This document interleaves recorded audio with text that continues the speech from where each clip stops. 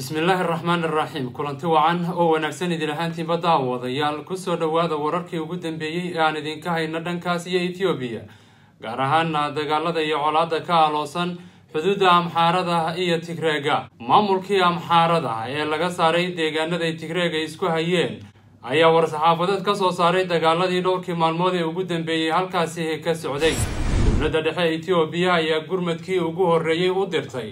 deegaankaasi amxaarada ee xaalku uu ku xun yahay kumanaan ciidanka deegaanka oramada ayaana ka gudbay xuduudda oramada iyo amxaarada kuwaasi oo ay wehelinayaan. Ciidamada milatariga etoobiya faahfaahinna ayaan idinka haynaa. Ra'iisul wasaare abiy axmed iyo amxaaradiina waxaa la sheegay inay ka dhex bilaabatay oo xisbiga ugu tunka weyn amxaarada ee mucaaradka lagu magacaabo eben ayaa ku eedeeyey ra'iisul wasaaraha etoobiya inuu ka dambeeyey in tigreegu ay qabsadaan. Deegaanada alamaata korem iyo deegaanada kale t b lf ay gacanta ku dhigtay. T b lfna waxaa la sheegay in magaalooyin cusub ay sii qabsatay maalintii shalay ahayd gelinkeedii dambe. Iyo ugu dambeyntii masar oo ku fashilantay biyo xidheenka etoobiya ay ka dhisayso webiga naylka iyo madaxweyne siisi oo loogu baaqay inuu iscasilo oo xilka banneeyo intaasi waa qodobadan idiin hayna kuwa ugu doorka roon haatanna ku soo dhowaada isagii oo faahfaahsan. Aan ku bilownay war-saxaafadeed ka soo baxay maamulka amxaarada ayay kaga hadleen xaaladda cakiran ee ka dhex aloosan amxaarada iyo tigreega waxayna bulshada ugu baaqeen in si midnimo ku wajahaan xaaladani adag ee soo food saartay. Qodobada ugu muhiimsan ee war-saxaafadeedka maamulkaasi amxaaradu soo saareen waxaa ka mid a waxay sheegeen in shacabka amxaarada garab taagan yahay ciidamada furinta ku sugan ee milatariga dalka ciidamada gaarka ah ee amxaarada iyo weliba maleeshiyaadkooda waxayna u soo jeediyeen in sharafta iyo madax bannaanida dalka ay sugaan oo ay ka difaacaan yeyda t b lf waxay sheegeen in loo baahan yahay in guud ahaanba shacabka etoobiya ay ka qayb qaataan howlgalka kooxaha argagixisada lagula jiro ee sarreynta sharciga laguna sugayo amniga iyo kala dambeynta cid kasta oo khibrad ciidan leh ama horay uga soo shaqaysay waxay ugu baaqeen maamulka amxaaradu inay ka qayb noqdaan howlgalka oo ay soo xoojiyaan ciidankooda gaarka waxayna u soo jeediyeen in sida ugu dhaqsiyaha badan ay isu soo diiwaangeliyaan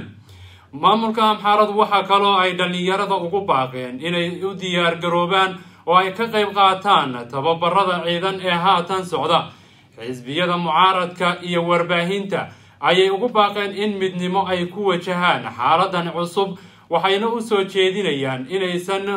burburinin ama aysan samaynin galdaloolooyin cadowgu uu ka soo geli karo deegaanka amxaarada.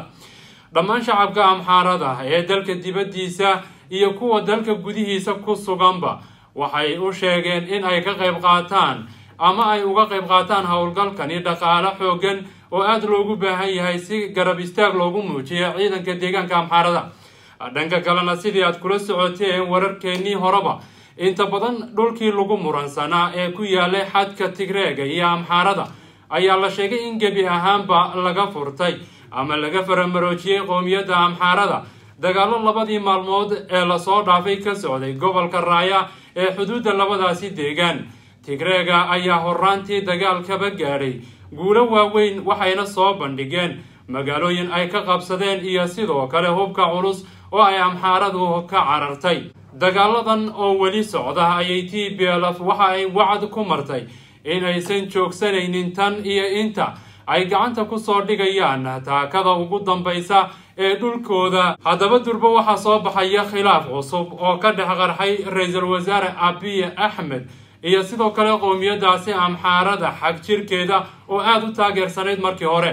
Xisbiga amxaarada ee lagu magacaabo eben ayaa eedeyn culus u jeediyey ra'iisul wasaaraha dalka ethoobiya abiy axmed oo ay ku eedeeyeen in uu dhabar jebiyey.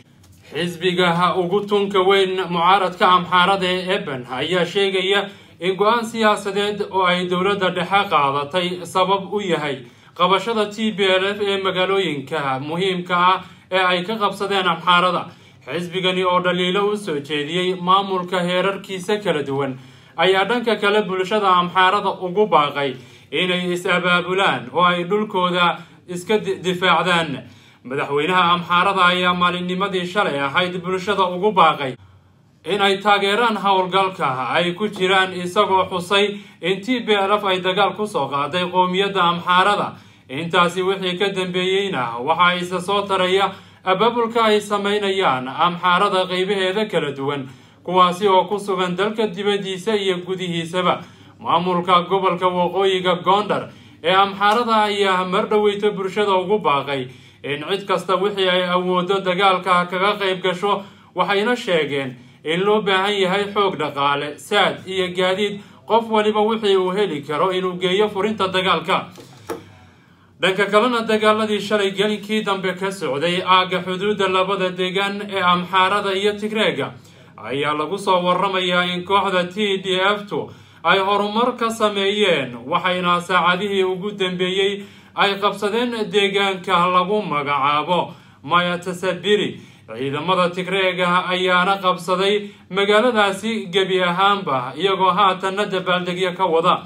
Dagaal waqti qaatay ayay ciidanka tigreeg u sheegeen inay kula wareegeen magaaladaasi. Afhayeenka kooxda t b lf getajo reda waxa uu bartiisa twitter-ka ku soo qoray inuu ku sugan yahay magaalada alamata islamarkaasina ay xasuuqeen aidi abiya axmed wuxuuna yidhi abiya axmed iyo agageno tashaga waxay yaqaanaan keliya sida carruurta loo xasuuqo laakiin siddeed bilood kadib waxaan ku sugannahay alamata annagoo cashar u dhignay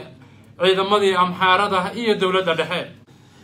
Dhanka kalena dowladda dhexe ethoobiya ayaa gurmadkii ugu horreeyey u dirtay deegaanka amxaarada ee uu xaalku ku xun yahay kumanaan ciidamada deegaanka oromada ayaa la sheegay inay ka gudbeen xuduudda oromada iyo amxaarada kuwaasi oo ay wehelinayaan ciidamada milatariga dalka ethoobiya ciidamadani oo lagu soo daabulay basaska dhaadheer sida idinka muuqanaysa muuqaalkaba ayaa la arkay iyagoo shalay gelinkii dambe u tallaabaya dhankaasiyo deegaanka amxaarada. Waa gurmadkii ugu horreeyey ee dowladda dhexe ethoobiya u dirto deegaankaasi amxaarada oo dhul ballaadhan laga qabsaday liyu booliiska oromada milatariga ethoobiya ee ku sugnaa deegaanka oromada ayaa la sheegay in loo daadgureeyey dhankaas iyo gudaha deegaanka amxaarada. Ugu dambeyntiina xilli masar ay ku fashilantay biyo xidheenka ethoobiya ka samaysanaysay webiga naylka islamarkaasina ay bilowday wejigii labaad ee buuxinta biyo xidheenkaasi kuna fashilantay masar dadaal kasta oo ay isku dayday in ay ku hor istaagto biyo xidheenkaasi ayaa waxaa madaxweynaha dalka masar loogu baaqayaa in uu iscasilo cabdilnaasir salaamax tafatirihii hore ee wargeyska al ahram ee dalkaasi masar ayaa ku baaqay in madaxweynaha masar genaraal cabdifataax al siisi uu iscasilo isaga oo ku eedeeyey guuldarrada culus ee biyo xidheenka ethoobiya ka soo gaadhay masar salaamo waxa uu sheegay in madaxweynaha masar uu mas'uul ka yahay in ay lunto xuquuqdii taariikhiga ahayd ee masar ay ku lahayd webiga naylka. Kadib markii ay ethoobiya u sharciyeeyeen biyo xidheenka ee uu labadii kun iyo shan iyo tobankii saxiixay heshiiskii xumaa ee ahaa baaqa mabaadi'da biyo xidheenka webiga naylka. Waa sida uu qoraagu sheegay. Qoraaga reer masar waxa uu intaasi ku daray in al siisi uu mar labaad u ogolaaday heshiiskaasi isagoo amraya golaha ammaanka. Waxa uuna intaasi dheer buu yidhi inaan al siisi qaadan go'aan milatari oo uu dib ugu soo celinayo xuquuqdaasi biyaha ee dadka reer masar. Guud ahaanba intaasi ayaan ku soo gabagabaynaynaa wararkeenii ku mahadsan idiin la socodkiina